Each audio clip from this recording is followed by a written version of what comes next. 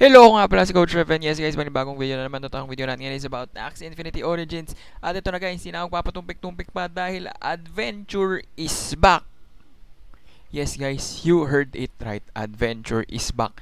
Ngayon, kung curious kang malaman, no, paano maglaro ng adventure dito sa Axie Infinity Classic, ano yung mga dapat gawin, no, ano yung mga updates na dapat yung malaman, eh mag-subscribe na kayo sa ating YouTube channel at i-click ko na yung like button dyan.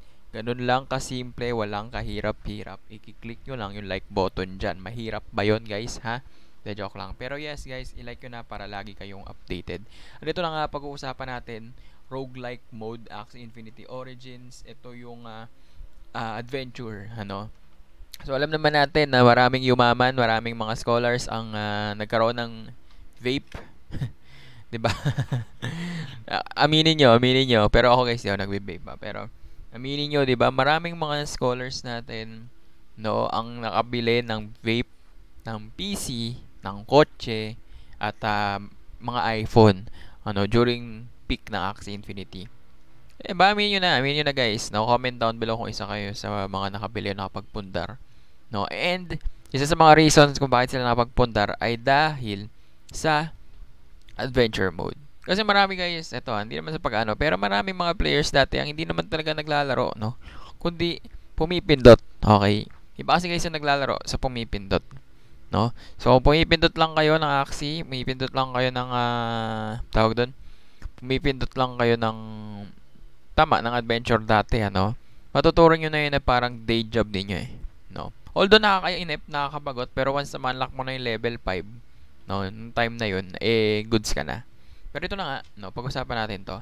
So, we have in here uh, roguelike mode, no? So, sa roguelike mode, guys, may multiple level siya.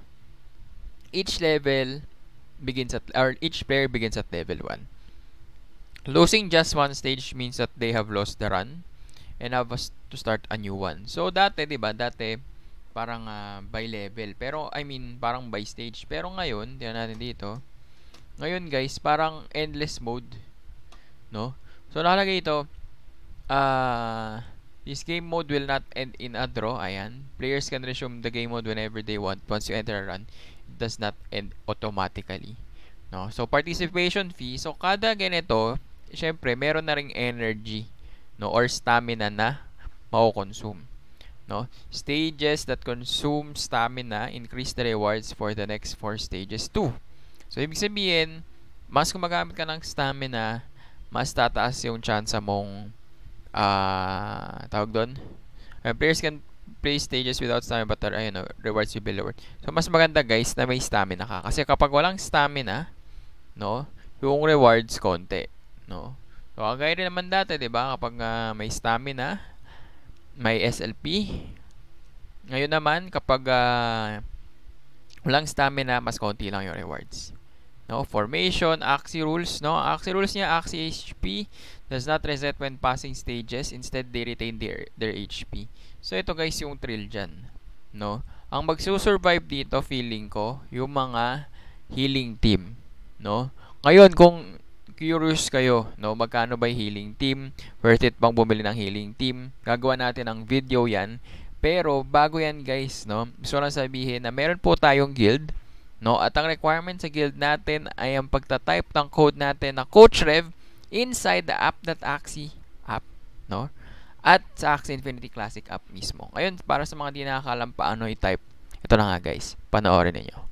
Hello nga pala si Coach Rev and yes guys, panibagong video na naman. At kung wala pa kayong code no kapag bibili ng Axie kasi alam niyo naman, 'di ba? Kita niyo no? Kita niyo yung presyo ng mga Axies natin ngayon, tumataas. So ito ngayon may sasuggest ako sa inyong code na pwede niyo gamitin kapag bibili kayo ng Axie. Dahil itong code na to, swerte to kapag kayo nag-arena, kita niyo, no? I-try niyo na ang Coach Rev na Lunasian code. Pero paano nga ba 'yan? No? Paano ilalagay? So gagawin niyo lang punta lang kayo dito sa may bandang taas, ayan. And then punta kayo na account settings. Ngayon pupunta kayo guys account settings, mapupunta kayo sa part na to. And dito sa may referral code or Lunasian code, i-type niyo lang Coach Rev. Okay, yun lang. Napakadali lang, di ba? Mahirap ba yun? Mahirap ba yun? So, kung hindi kayo nahihirapan doon, i-try nyo na ang Lunasian Code na Coach Rev. Tingnan nyo, yung win streak niyo dire-diretso. Buya! At, ayun na nga, guys. No? So, maraming maraming salamat nga pala sa nagta-type ng code natin sa mga sumasali sa guild. No, mayroon na tayong channel dyan, may Discord na tayo. Click nyo yan dyan sa description box kung gusto yung makasali. Pero ito na nga, No? So, battle mechanics, guys, basically, kailangan nyo lang talunin tong mga to, eh, no? Hindi na natin papatagalin, no? Hindi na natin kukomplikahin, no? Yung mga enemies, gamit din ng cards, may mga energy burst, may mga card pile din, ayan. So, kaya lang siya na Axie. Tapos, pero walang blood moon, okay? Tapos, one more thing, guys, no? Tayo yung mauuna, okay? Panoorin natin to. Teka lang, bakal internet, okay? So, ganun din, no? Like, kung paano tayo naglalaro ng Axie, ganun lang din siya. Again, take note, guys, sa Axie Infinity, ano to? Axie Infinity Origins, no? So, ano nga ba yung mga rewards, Coach Rev? So, ito na nga. So, winning matches in roguelike mode rewards players with EXP, honor medals, and roguelike tickets.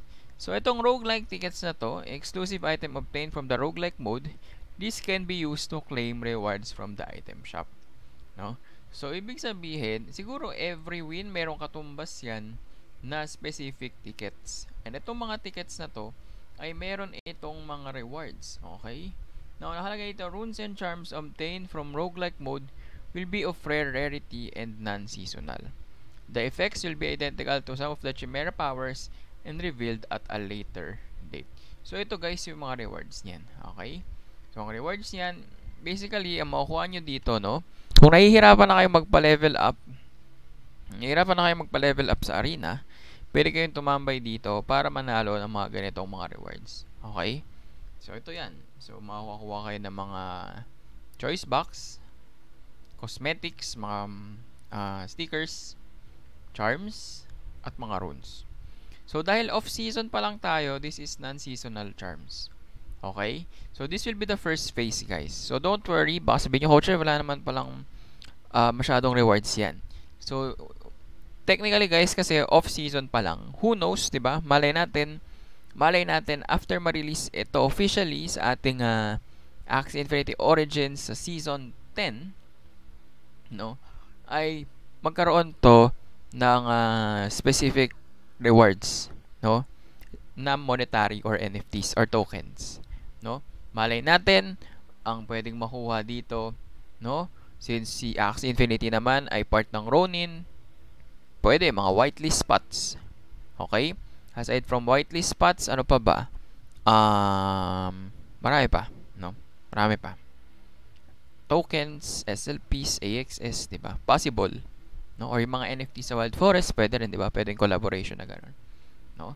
So, personally guys, ako natutuwa ako na may, na binalik nila yung arena na mas exciting, mas um, mas free to play friendly, no? Mas free to play friendly itong Axie Infinity Origins roguelike mode or yung adventure.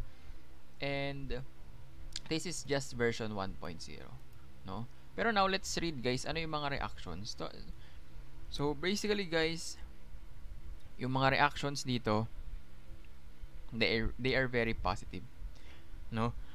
Positive sila sa update na to. And ako rin positive ako sa update na to kasi we are seeing innovation and we are seeing some updates na hindi natin ina-expect no? Ito yung mga updates na hinihiling natin 2 3 years ago. Pero dahil uh, lahat nakatingin lahat uh, nagmamadali hindi agad na release and now dahil mabilis lang oras, di natin napapansin, nag-grow na pala yung community, ito na guys, yung ano natin, no, na-develop natin, no. At uh, hopefully, hopefully in the coming years ay uh, magkaroon pa tayo ng uh, new updates, no. Ako talaga guys, inaantay ko, no, one more game-changing feature kay Origins to make things more skill-based, no. Kasi ang ayoko lang kay Origins, kapag uh, na-reach mo na yung certain level, wala ka nang magagawa kundi sundin ito. No, ayun na eh. Wala ka nang magagawa kundi sundin ito eh. Unlike kapag, uh, tawag doon, kapag meron tayong one game-changing feature na maybe based on skill or based on luck, mas mamamotivate yung iba na, okay, baka pwede. No? So, ayun lang guys. Again, if you're interested in joining our guild, please do join our Discord channel at like our Facebook page malapit na po tayo mag 1,000 followers. And malay nyo baka mag magpa 1,000 SLP giveaway ako. And yun lang guys. By the way may whitelist akong ipopost sa Facebook ko. Kaya naman ano pang iniintay nyo guys? Abang-abang na lang. At uh, yun lang. Hanggang sa muli ako si Coach Rev. Like, comment, and subscribe. Kita-kits sa next video. Don't forget to pray guys sa mga nanonood sa akin. Always pray. Pray for world peace. Pray for your own safety. And pray for everyone's safety. No? At ah, uh, hingi kayo tawad sa mga sa inyo okay? Yun lang po. Thank you very much. God bless. Buya.